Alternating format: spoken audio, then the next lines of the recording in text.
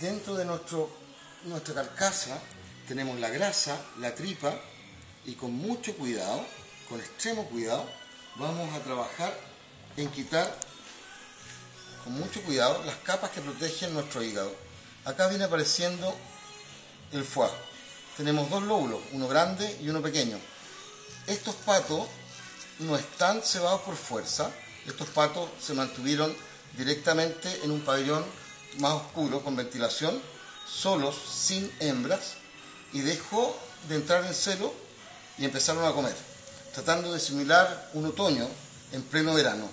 Las mejores regiones en el norte, en el norte de, Francia, que son más frescas, son las ideales, igual que también eh, en otras partes de Europa, para poder producir el foie gras. Nos vamos con mucho cuidado, sin romper la tripa. Visto de acá, esta es la grasa que se va a utilizar para poder hacer nuestra clarificación. Y con esa vamos a hacer nuestro, nuestro confite. Con mucho cuidado, pegado el hueso, mucho cuidado. Nos vamos rompiendo la carcasa para poder llegar con bastante cuidado a nuestro foie. De esa forma, por un lado, como tenemos el lóbulo acá, nos vamos un poquito más abajo sin tocar ni la hiel y sin tocar nuestro foie gras. Es importante que los chefs conozcan las razas de pato. Todos eh, por lo general estudian libros de cocina francesa y en Francia tenemos patos muy distintos a los que hay acá. En Francia está el pato mular, que es una cruza híbrida de este pato muscovy con el pato pequín. Con mucho cuidado despegamos la carcasa y nos aparece aquí los dos lóbulos de foie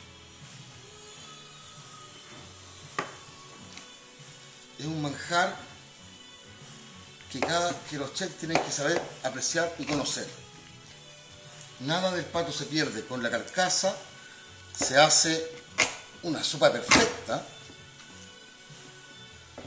y toda la grasa que podamos obtener de este pato la vamos a clarificar para poder lograr tener la grasa para nuestro confite.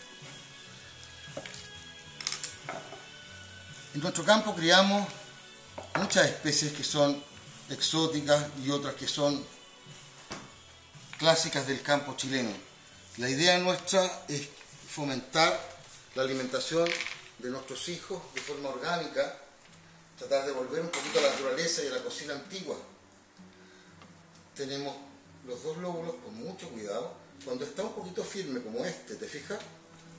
Este hígado, cuando está un poco firme por la temperatura baja, lo podemos manipular con mucho cuidado.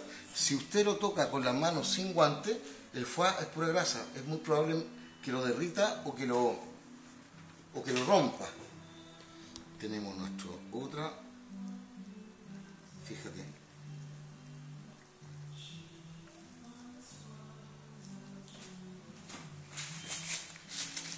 Esto es lento y es demoroso para tratar de no romper nuestro hígado. Esa forma lo vamos a ir sacando sin romper la tripa, porque tenemos toda la tripa completa acá. Tenemos el contre y este lóbulo largo.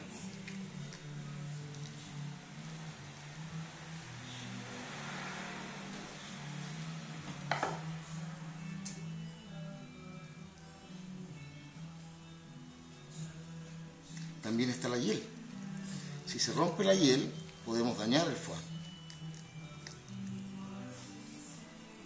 El foie gras se puede hacer terrina, se puede hacer escalopines, hay muchas formas de hacer y de cocinar este manjar.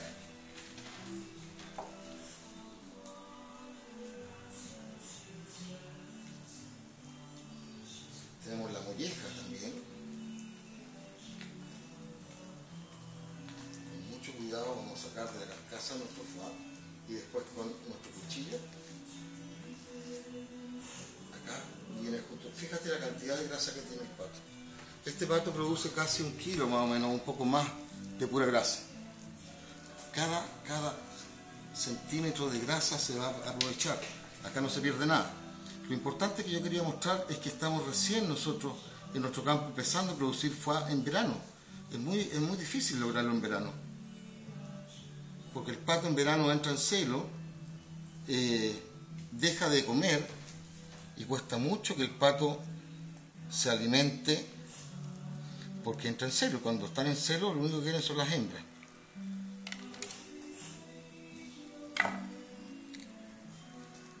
Ahí está la hiel, fíjate, y viene también la raíz de las venas. Los, los por lo general, debes siempre desvenarlo. Cuesta mucho cuando son pequeños, como este. Pero tenemos un hígado graso producido en nuestro país.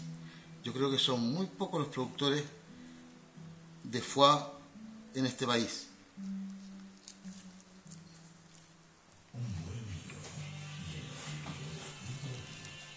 Con mucho cuidado, lo que queda de, de hiel hay que sacarlo tenemos un lóbulo por este lado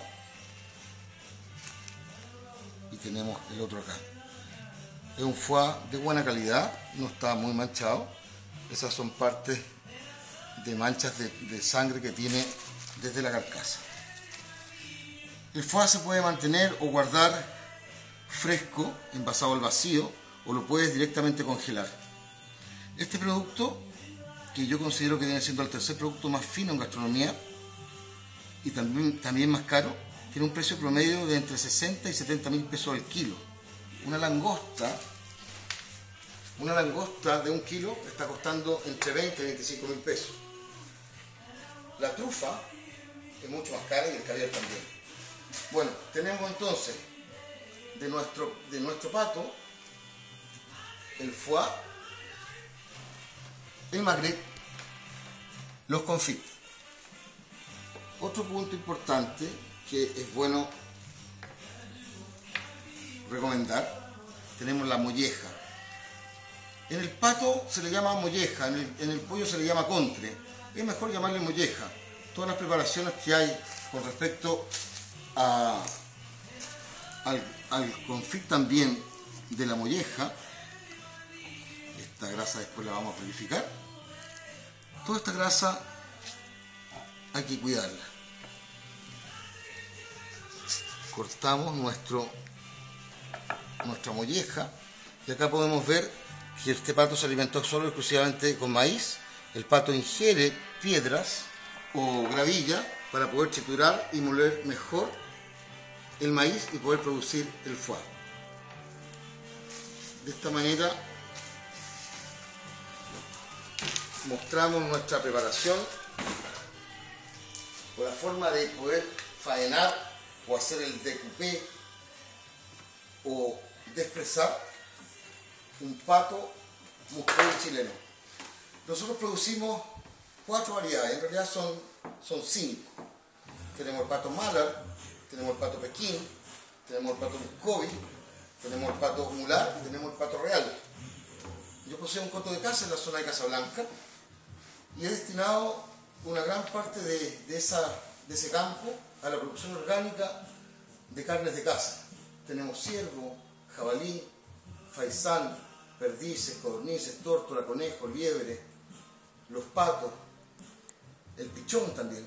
Y vamos a ir haciendo distintos tutoriales de cómo trabajar un pato para que ustedes lo puedan adquirir en chileexótico.cl. Mi nombre es Marcelo Abate, soy el chile exótico y el próximo capítulo va a ser la preparación de lo que hemos logrado hoy día, de un pato de 5 kilos, nuestro foie gras producido en nuestro país, nuestras magres de pato, una de cada lado, nuestros trutos para el confit y las alas para el confit. Con la carcasa vamos a también trabajar en otras preparaciones. El chef exótico se despide. Un abrazo, vuelva a la naturaleza, no compre pollo de supermercado, hágase una cazuela con pollo de campo, saque a los niños a la feria, a la vega, al mercado. Cambie el hábito, porque la carne que están consumiendo es toda química contaminada con hormonas, con alimentos transgénicos y a la larga solo van a producir enfermedades. Vuelve a naturaleza y aunque no les guste la caza a muchos, en la caza y en la pesca, en el campo silvestre, van a conseguir esta calidad de producto. Un abrazo para la próxima mujer. Muchas gracias.